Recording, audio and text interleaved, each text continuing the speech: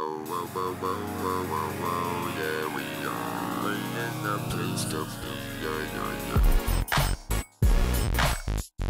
guys, this is Beck Backdraft and welcome to another episode on Create Above and Beyond. Thank you so much for joining me today. If you're playing through this mod pack yourself, or if you love the Create mod or Redstone Engineering, then this is the series and the channel for you. So be sure to hit that like button, subscribe, and hit the bell for notifications so you never miss when another video comes out. So, a lot of work has been done since last episode. We have completely migrated all of our industry over to where our mega base is soon going to live. We have all of our contraptions moved over. We have completely left the jungle base behind. Maybe one day we'll go back there but this is where we're going to be continuing the series from. So I'm going to take you around because there are a few things that I have changed. So here is where we're now generating our kinetic mechanisms. We got the kelp farm there, the clay being generated right over there. We have our andesite coming up from the bedrock floor right here. And of course, this is where we're generating the algal brick. This is where we're generating the andesite alloy, and of course, this is where we're assembling the kinetic mechanisms, and they are being collected down here. This is a much more streamlined process than what we had set up before in the jungle base, which was just a bunch of spaghetti thrown together. One major difference that we have with this particular line is this right here. This is an enchanted saw. So if I go into the market and we check out the what is it under? Uh we got overview high aspirations shipments market here we go. So if we surrender a diamond saw and five gold coins which we have plenty of from our silver farm we can get an unbreakable saw. And going forward you can actually get unbreakable tools for each of the mechanisms that we need to build going forward. That way we don't have to keep crafting those and feeding them into this. Dropping down to bedrock this is now our andesite generation. So we have have four drills instead of the one that we had before. We're actually feeding all of that stone into a bubble elevator, same as before, but the granite, the diorite, and the gabbro we're actually filtering into this drawer, and we're just dumping that into lava for now. So all of the andesite is getting fed up to the surface, and we're now generating way more than enough andesite to keep up with the farm. The actual bottleneck right now is clay, but once we get brass machines going and get some crushing wheels, then we'll be able to generate clay a lot quicker. Coming back to the corner, we have our silver farm over here. It's the same exact thing that we built before, and it's cranking out tons of silver for us. Over here, I actually have two wood farms feeding into a centralized wood highway. So the idea here is for resources that we're going to need for multiple different things, I'm going to have one area where we generate that specific resource and then feed it via this belt throughout the, the factory and give it to the different contraptions that require it. So we're going to do this for wood right now, and then going forward, anything else that we're going to need a lot of, we'll do something similar. Next to the wood farm, I set up a pretty basic potato farm because baked potatoes are actually a pretty good food source and are really easy to craft. So the potatoes are getting dropped up there via the portable storage interfaces. Then they're going to drop down here and get smoked into baked potatoes and any of the buddy beans or buddy cards or any uh, poisonous potatoes, anything else that comes out of the farm is just getting avoided for now. So we now have a steady automatic source of food. Speaking of the Farmer's Delight buddy card set, from the potato farm and the silver farm, we actually got enough cards that we were able to complete it. So we now have the Farmer's Delight, wrong button, the Farmer's Delight medal. And the buff that you get from this is actually nourishment. So I'm choosing to have this one right now versus the speed boost that you get from the base set medal. So what nourishment does is it actually makes it so that your hunger doesn't naturally drop over time. The only way your hunger will fall, your saturation as you may call it, is if you take damage. So if I were to take damage, then it would fall and I would have to eat, but otherwise we won't have to eat. In the opposite corner from the silver farm, we have rebuilt our iron farm with a couple of upgrades. So what we have here is we have the same design that we had before, but we're now taking all of the flint and the iron nuggets and putting them onto this belt. So all of the flint is actually gathering up in this drawer right here. The iron nuggets are going into this basin where this mechanical press is pressing them down into iron ingots. And right now we have about two and a half stacks of iron ingots collected up in this farm. Now, one thing I want to mention about these drawers is I actually added a new upgrade to them. This is the Void upgrade, which is made with 8 obsidian and an upgrade template. And what this does is it destroys any excess items once the drawer is completely filled up. That way we don't have to worry about overflow. And I also added that upgrade to all of the drawers in our kinetic mechanism farm as well. Next to the iron farm, we got our rubber farm, and across from that is where we have our Tinker's Smeltery. So that is where we have everything built in the new area.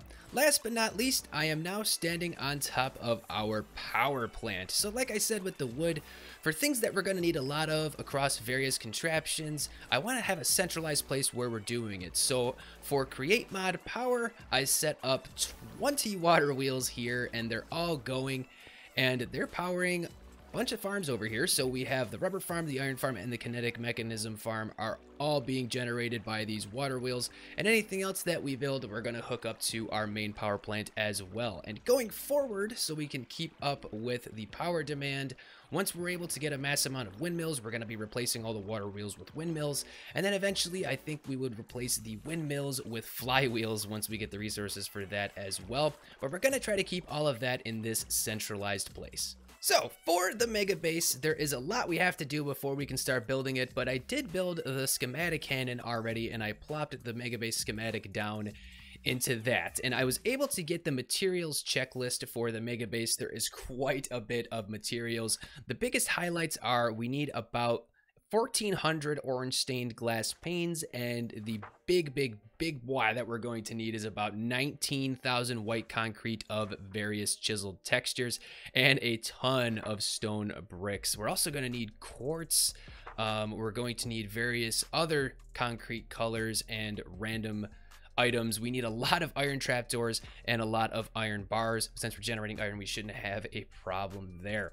So I definitely want to make progress towards the resource collection for the Mega Base in this episode and possibly even starting it. I don't know. I'm not guaranteeing anything right now. We'll see what happens. I have the official plans for this episode in our book. So number one is we want to get the precision mechanisms going so we can get brass machinery up and running. That's the very first thing we're going to do in this episode. After we have that going, I want to make a mechanical crafter large enough to make us some crushing wheels. That way we can start automating sand because we're going to need a ton of sand for the mega base build to get all the concrete and the glass, and it will make it easier to get clay for the kinetic mechanism generator as well. So then number three, like I said, there is the sand generator. And then finally, if we have time, I want to go to the roguelike dungeon, which is actually right over the horizon that way and see if we can find some skeleton spawners so that we can start farming up bones because for the white concrete we're going to need we're going to need 37 or 38 stacks of white dye so bones are probably the easiest way to get that so the first thing we're going to do is the precision mechanism so we have to get all of this industry set up and the way that we're going to do it is we're actually going to just tack it on to the end of the kinetic mechanism generator so that we can just feed probably half of our kinetic mechanisms into the precision mechanism generator, and then we will keep half of them in a chest for use to make andesite machines. So if we look at the quest log once again, we're gonna have to generate quartz, crystals, um, redstone, was this uh, destabilized redstone, which will help us to make redstone dust. And then we also need molten iron, which we can do with a Tinker's Melter, which is a smaller version of the smeltery that we've already built. So there is a ton of work that we have to do. Let's get started. Okay, progress has been made. We are currently setting up the contraption that will make us our Certus quartz crystals. So uh, if I didn't actually explain before, this line right here leads you to getting the Certus Quartz crystals. This line right here leads you to Destabilized Redstone. Destabilized Redstone plus Certus Quartz crystal gets you the Rose Quartz. And then, of course, this line gets you the Molten Iron. Molten Iron plus rose quartz gets you the electron tubes, which are what you need to create the precision mechanisms. I can't remember if I actually said that before, but anyway, this is what we have set up. So for the Certus quartz seeds, what exactly you need to do with these? First off, I needed to craft one using sand and then uh, Certus quartz dust, which you can do just by putting Certus quartz, which I've gotten from just doing some mining sessions, into a millstone. So once you have a seed what you have to do with it essentially is you have to feed it through a sequenced assembly of water spouts and it will slowly grow. So it's got to go through three different stages. First, it's tiny, then it's small, and then finally we have the quartz crystals. So every four water that get dispensed onto it, it grows in a cycle. I can show you guys exactly how this works right here. So if I dump the seed right there, it's going to go around in a circle. It's going to get the water dispensed on it. Every fourth time, it's going to grow. And then in the last stage, we're going to finally have the Certus Quartz Crystal. Now, you can keep this going with the Certus Quartz crystals forever because you take your Certus Quartz crystal, put it in a mechanical crafter, and then you get two seeds. So you're effectively doubling it every time and creating infinite crystals, which is super, super cool. So what we're going to do is we're probably set up a, a, um, a drawer here that will pull just the Certus Quartz crystals off of this line, and then the seeds will continuously go ring around the rosy until they fully grow. And then we'll probably have another line coming back in, dropping seeds back onto this belt, and we will have our quartz crystals. Now, over here, I had to set up a water pipeline, and let me show you guys what we have over there by the ocean. So at the edge of the ocean, we set up a hose pulley and a long line of copper pipes with pumps that are feeding the water back to the contraption. And we actually made a uh, a fluid tank, you can see it over there, to store up a bunch of water in case we need it elsewhere too, back at the factory. So with the create mod, if you use a hose pulley with a liquid source of 10,000 blocks or more, so for example with this water, if there's 10,000 or more water source blocks, then it is considered an infinite supply. If you hover over this, it says bottomless supply. That means we will never run out of water. You can do this with lava as well in the nether. More progress. We are now about halfway through the second step. The second step being getting the destabilized redstone. So here's what we got going on. Over here we have a millstone and the millstone is continuously milling skystone. We actually had some skystone from the meteor back at the jungle base. So when a millstone does mill down skystone, it actually gives you skystone dust and it gives you the skystone back. So the skystone is effectively indestructible. So we take that skystone dust and we feed it into this basin right here, mix it with water, and then we get volatile sky solution. Then we take that volatile volatile sky solution and we feed it into this basin right here and then the next thing that we still have to set up is we have to set up a charging station to get charged crystals. So the charged Certus Quartz crystal is you take take a Certus Quartz and you put it into a charger and then it will be powered and then we can use the charged Certus Quartz crystal and the volatile sky solution to get destabilized redstone. Then destabilized redstone plus crystal equals rose quartz. and then the final thing once we have the rose quartz is we need to get the melted iron, which we'll probably just set up a small iron farm over here. I keep pressing the wrong button, sorry. We'll probably just set up a small iron farm above this and squeeze that molten iron down here when the rose quartz reaches this depot and then we will be feeding all of the electron tubes that we end up with into the deployers which will be at the end here to create the precision mechanisms. So I just realized in order to make the fluix crystals to make the charger we need one charged Certus quartz crystal. So we can't even make the charger unless we have a charged Certus quartz crystal. So I found out that these do generate in the world. They are found rarely or honestly, I could just buy the Fluix Crystal because I do have a ton of silver. It's really not that much. It's only 32 silver and you get 8 Fluix Crystals plus 10 silver to get the card. I think I might do that anyway because I do need another Crimson Dynamo and if I use 30 silver, I get a trade station and a, uh, sorry, Stirling Dynamo. Um, 30 silver gets me trade station and Stirling Dynamo, so I think I might just do that. Um, yeah, I don't feel like mining. Let's just do that. Okay, we got the card and we got the Stirling Dynamo in the trade station. And actually, I could probably just swap out Fluix Crystal real quick in the trade station over at my silver farm. And that is it. There we go. We got our crystals. They're going down into the chest here. But yep, we got the crystals. Everything is now in place to generate the destabilized redstone and I'm actually really surprised and proud of how compact I was able to get this part of the machine. So let me show you what we got going on. So here is the charger. We have the Stirling Dynamo on top of it generating the RF. That will charge up the crystal which is currently in here. So once we have the Volatile Sky solution and the crystal mixed together, it will send the destabilized redstone over here to this basin. It's currently full, so nothing's happening. Once it is done, the uncharged crystal will come out over here, go and get recharged, and then circle back in. Then, of course, we have the Skystone Dust. Uh, is that what it's called? Is it, uh, Sky, Skystone Dust. We have that generating over here, feeding into here, which is being mixed with water to create the Volatile Sky solution. So Essentially, once we have the crystals going, they're just going to be fed into that basin right here. I can actually do one right now. So that will feed into there, and for some reason it's not working. Let me see why. And in total Jagweed style, I forgot to hook up the mixers. There we go. And it is now off to the races. So that should gener generate the rose quartz. There it goes. And it's actually going to get fed out over here.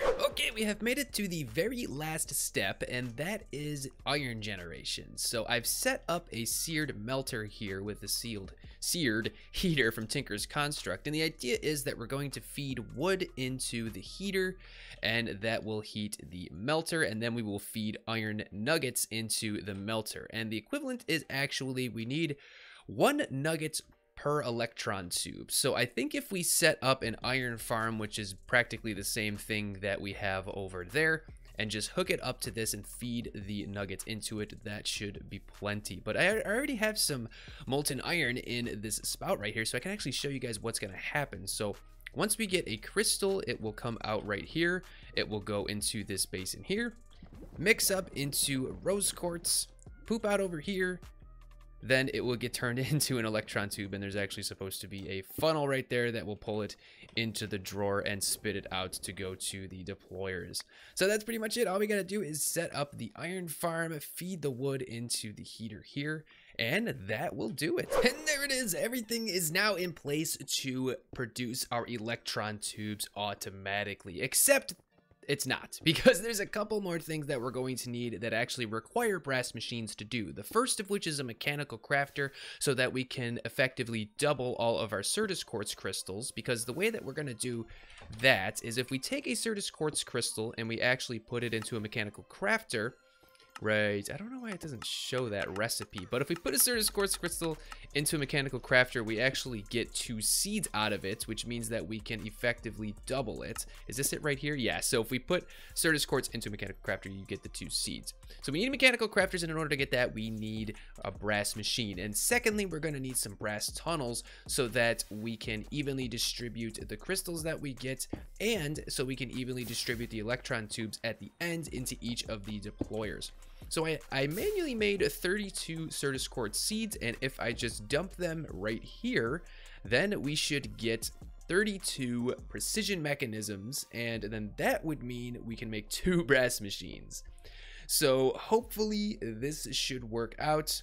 Once we have the finished product, I'll show you guys it in action as well. So I just ran into one of our first issues with this system, and it's that it's too slow.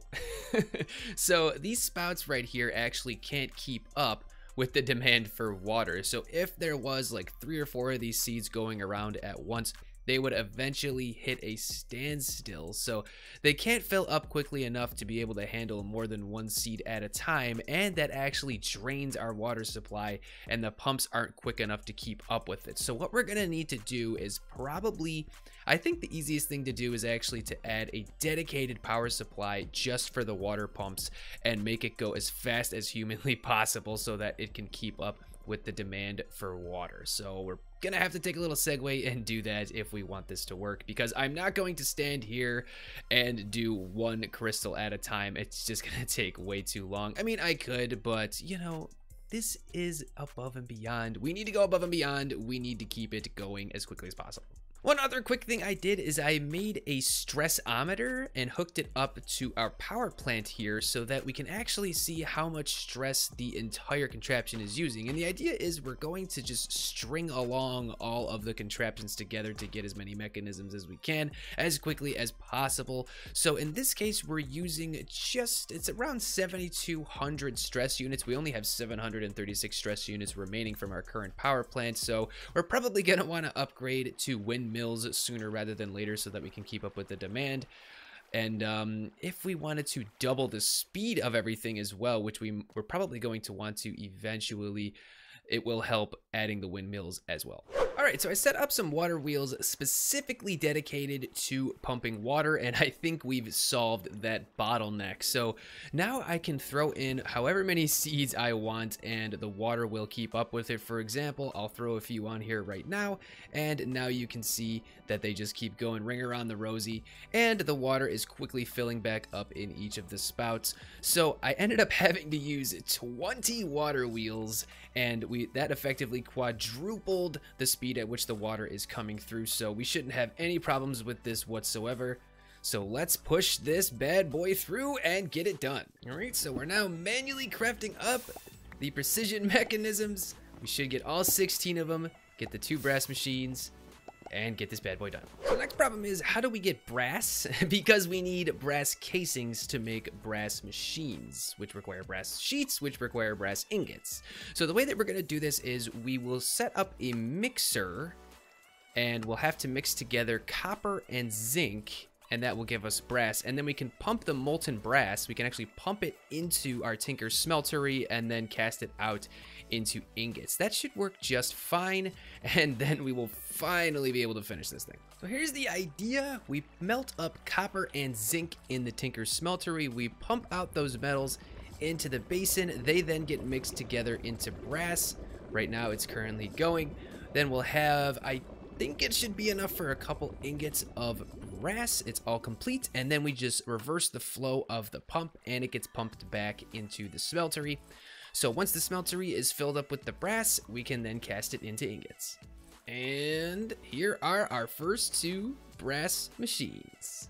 So before I forget, I'm going to come in here and complete chapter 2 because we get a few goodies for completing it. We get 16 precision mechanisms, 1 to 5 quartz, and 1 to 5 brass ingots. That's going to be extremely useful going forward. Unfortunately, this episode is already way longer than I would have liked it to be, so I'm gonna go ahead and finish up the mechanical crafter for the quartz doubling, and that's gonna be it for our automated brass. Then we're gonna have to set up some crushing wheels to get sand, because actually right now my sand generation has halted because the strainers are completely empty, so we're gonna go ahead and do that as well, and I'll show you guys that at the beginning of next episode. But thank you guys so much for joining me. If you like this, please don't hesitate to hit that thumbs up, and make sure to hit that subscribe button and the bell for notifications so you don't miss when another video comes out. Thank you guys so much for joining me. Take care and bye-bye.